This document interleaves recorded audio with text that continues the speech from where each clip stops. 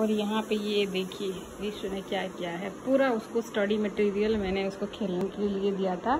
यहाँ पे ये शेप वगैरह वो सब देने करने के लिए उसने पूरा बॉक्स का निकाल के पूरा सारा हॉल में बिखेर दिया है। यही होता है मेरे दिन भर का हाल।